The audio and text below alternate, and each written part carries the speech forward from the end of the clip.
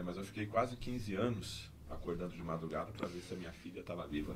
Pois é, você prefere arrancar todos os dentes do que enterrar ela, né? Então é, é bem complicado isso aí. Então É, você acho que- acorda de madrugada para ver se está respirando. Ah, tudo dá graças, não é isso? É, A gente precisa ter gratidão. é Se você achar que você perdeu tudo, que você foi injustiçado, que, que, que você tá certo e o mundo tá errado, você tá indo pro caminho do mentiroso, né? Do, pai, do príncipe da mentira, do pai da mentira, né?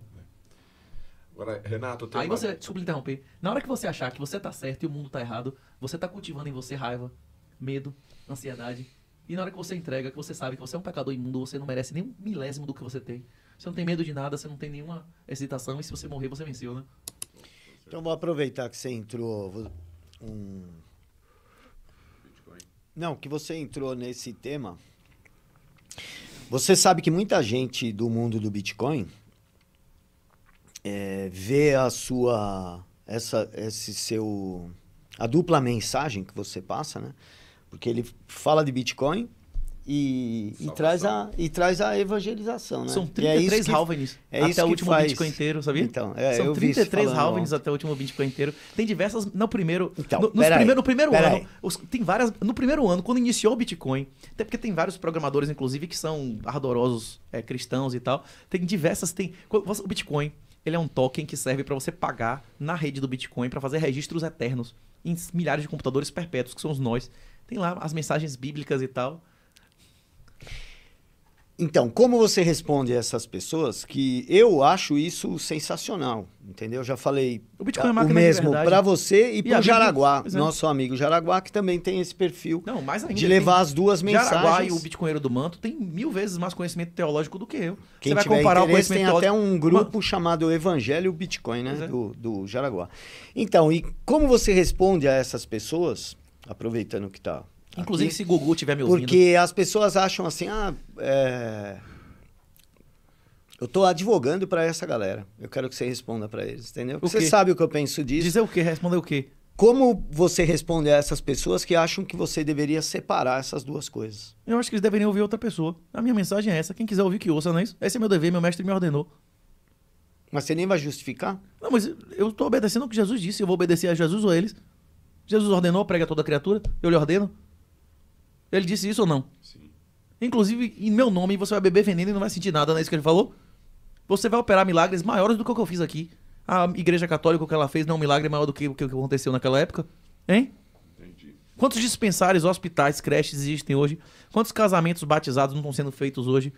Uma pessoa que não. é, O Bitcoin, quando a pessoa adota o Bitcoin, explode a produtividade e a riqueza dela. Agora, uma coisa que muda na psicologia de quem adota o Bitcoin é uma coisa chamada preferência temporal. Quem não renuncia, quem não é capaz de renunciar ao presente para ter uma coisa de valor no futuro, não é capaz de ter uma reputação, um casamento e muito menos uma religião. Todos os dias nós escolhemos entre ser bom e ser feliz. Quem escolhe ser feliz serve ao diabo. É o telema, não é isso? Faz o que tu queres, que é tudo da lei. Na Bahia tinha lá do, do, Do Raul. do Raul, não é isso?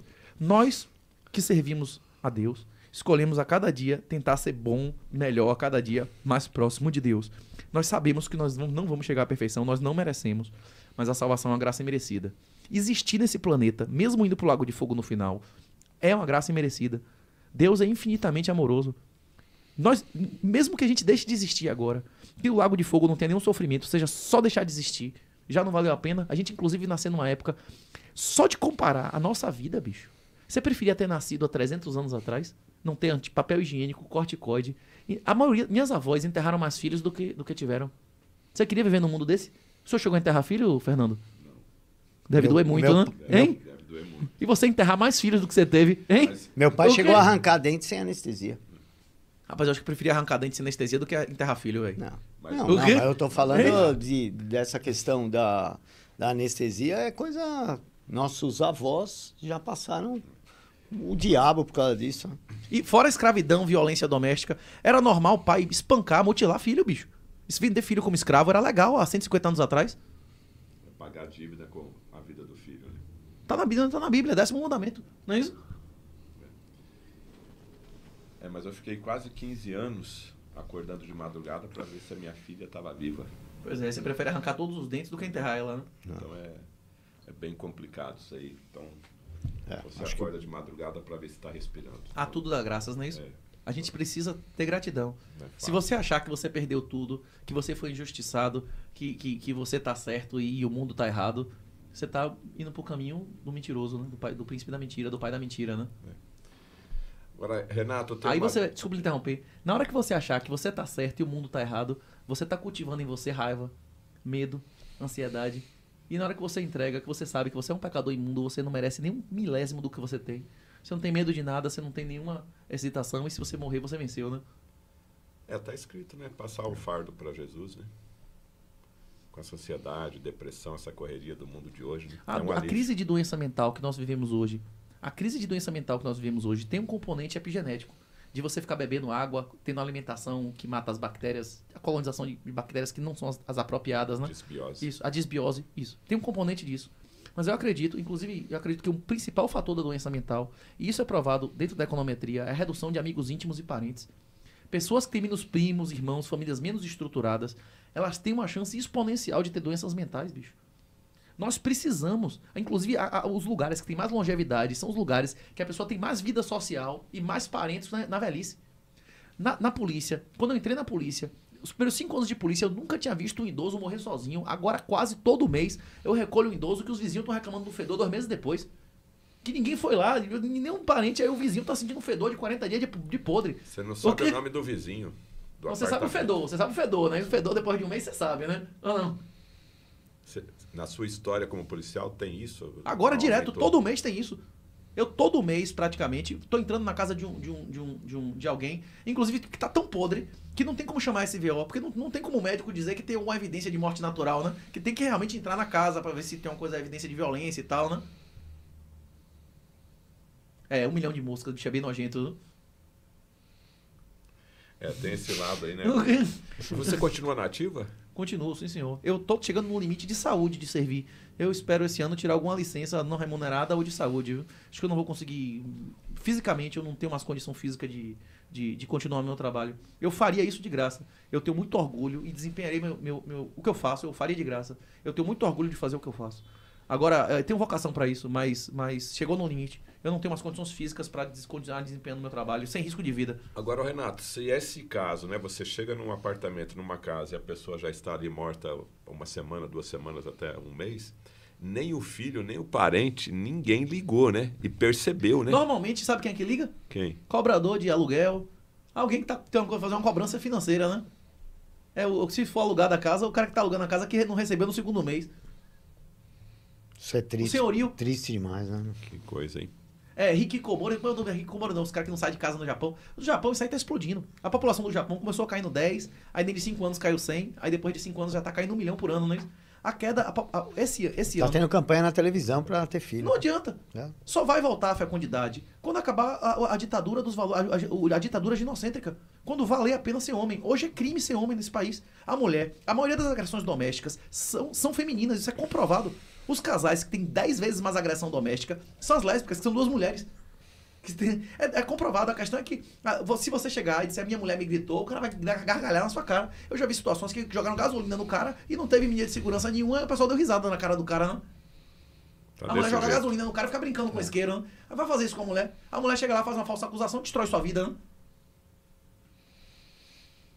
E aí? Não, esse negócio de Eu fui vítima, falsa acusação. eu fui vítima de, de Maria da Penha. Uma Você? irmã minha, uma irmã minha, que eu não vi há sete anos, Cara, essa foi da queixa história. aqui em São Paulo. A minha sorte é que, o, é que o, o Ministério Público, o juiz, disse, não, rapaz, isso aqui, pelo amor de Deus, né? Tipo, você não tem contato com o cara há sete anos, como é que eu vou dar uma medida de segurança, o cara que vive em outro estado, não é isso? Pelo amor de Deus. Nesse Eu caso nem aí. sabia que Maria da Penha servia pra isso também. Tá vendo? É melhor vocês mudarem de sexo. É melhor vocês virarem mulher. O homem hoje em dia é um cidadão de segunda classe. Nós, inclusive, a- a- se você estudar a Bíblia, você vai entender os conceitos de, de neotenia, você vai, vai compreender a, a indulgência patológica e o mais importante de tudo, que, o- que o Igor não entendia, não entendeu na nossa conversa ontem, que as pessoas seguem motivações. Isso é, isso é a regra da natureza. A regra do mercado é a mesma da natureza, que é a seleção natural. O que esses caras estão fazendo vai levar à autodestruição deles. Nós não precisamos agredir, nós não precisamos cometer crime. Basta nós sobrevivermos fisicamente, financeiramente, moralmente, que nós vamos vencer. Só precisamos sobreviver. É só sobreviver moralmente, espiritualmente, fisicamente. Órgão excretor não reproduz. Mãe de pet tem neto? Mulher que tá dog pill dando ao cachorro tem neto? Hein? E já tá castrando o pet também, né? Já, já pega o pet e castra o pet. Não, mas quem tá pegando o pet pra fazer amorzinho não vai castrar, vai querer ele inteiro, né? Isso não. Tem, grupo, bicho. Vocês acham que o homossexualismo tá aumentando? O homosse- homossexualismo dobra a cada década. A zoofilia decuplica. Inclusive, isso demonstrado por pesquisa, inclusive, de, de, de, de imagem, tudo, de exame. Como é o nome? Exame do fundo do. do- que faz o a- a negócio que, inclusive, é diferente fisicamente. O espermatozoide, o cara, opa, o espermatozoide de cachorro. O dogão teve aqui, não é isso? Dog pio agora. Pois é. E, Agora e vai o professor assustar Olavo o Be- previu isso. O Betete. O professor Olavo previu isso. Que quando a sociedade aceitasse o casamento homossexual, quando ele aceitasse modificar, de- de- de- des- desmoralizar, destruir o conceito do casamento verdadeiro, ter estupro de, de marido e mulher, ter, eh, como é que chama, divórcio sem culpa. O cara foi pro BBB e quando ele voltou, ele não era mais marido da mulher.